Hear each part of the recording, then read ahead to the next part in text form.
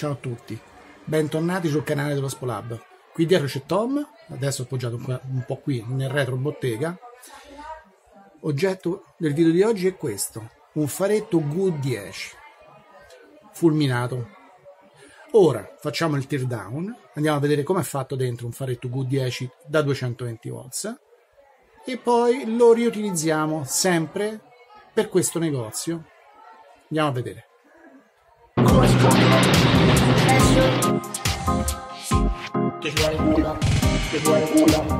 Ora, siccome serve di fare per una vetrina un faretto pendente dal soffitto che casualmente potrebbe combaciare il punto di partenza proprio dal punto dove è installato un faretto di questo tipo l'idea è utilizzare questo come presa di corrente da infilare al posto dell'attuale spot dell'attuale faretto e qui praticamente faremo un foro attaccheremo due fili che partono da qui scendono e vanno a finire in un portalampade. Questa è l'idea.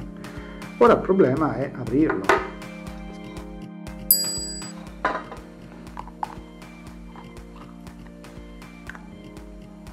Ce l'ho fatta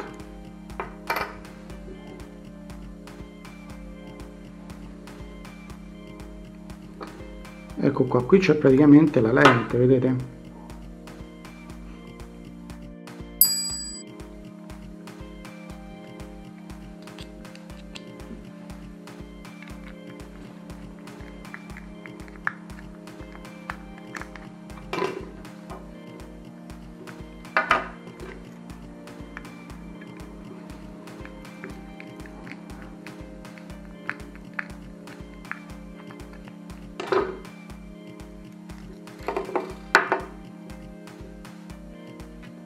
testore per venire via.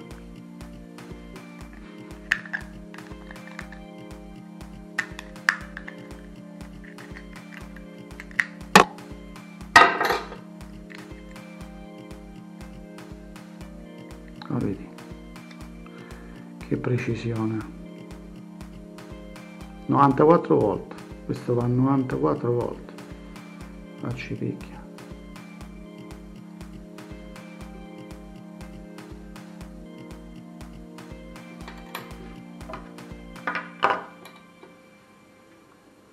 ...94 volt, questo va a 94 volt, ci picchia. Ecco qua giù il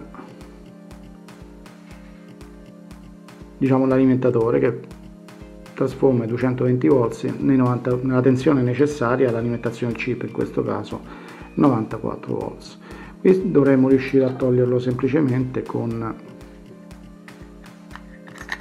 esatto bene a questo punto lo vediamo meglio.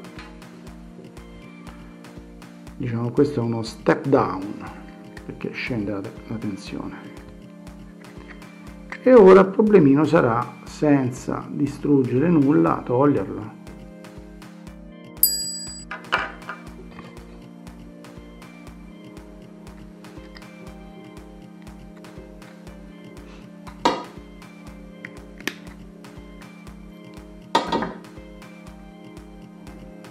probabilmente la rottura è qui.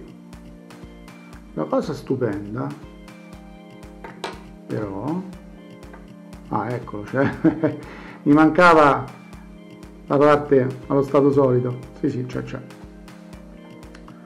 Lo step down. Bene questo probabilmente è andato questo probabilmente funziona ma non è detto eh? Questi sono i collegamenti per alimentarlo eh. questo potremo riprovarlo. Certo una tensione 94 volts un po' altina boh, proveremo. E questo è il faretto vuoto. Ecco qua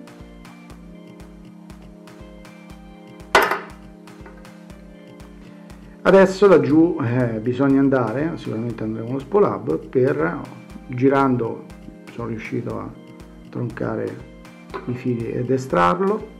Non so veramente come siano riusciti a, a saldare i fili lì. Suppongo che ci siano riusciti scaldando questo cosa che comunque non ne potrò fare io. Ci devo mettere i fili.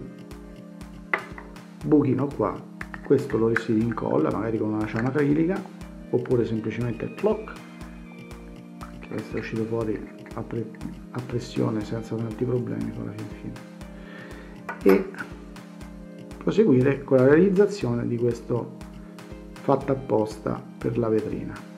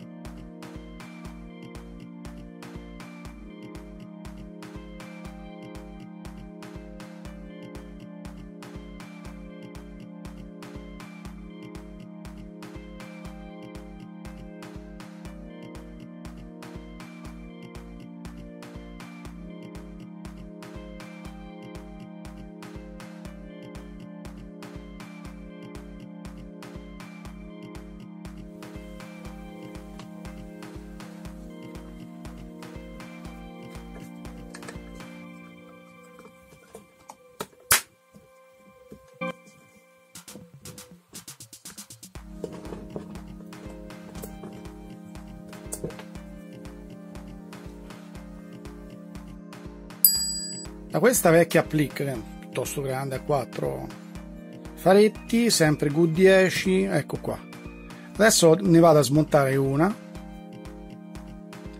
e riutilizzerò questa come pendente attaccata a questo cavo mettendoci chiaramente all'interno un connettore Good 10 magari meglio di questo che questo qui ormai è cotto. Questo. Adesso lo andremo a bucare e via.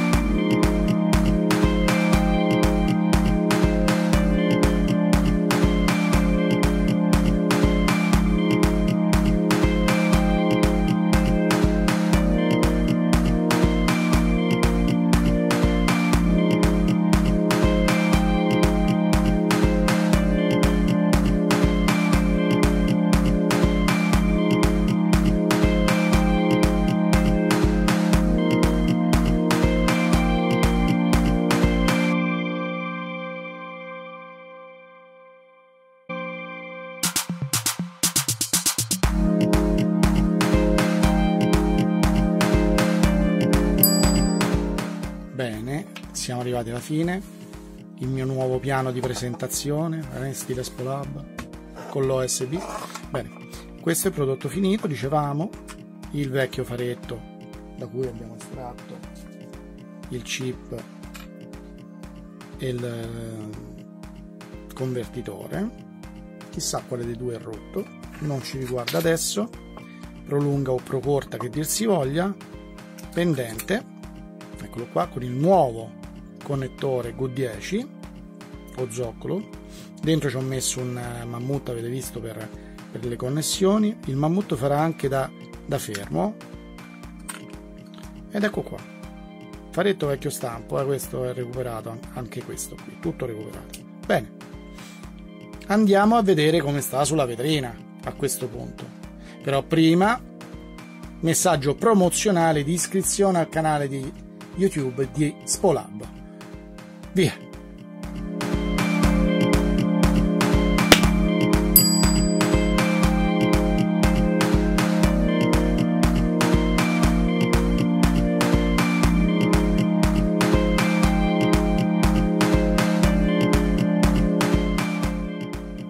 Bene, grazie per avermi seguito fino qui.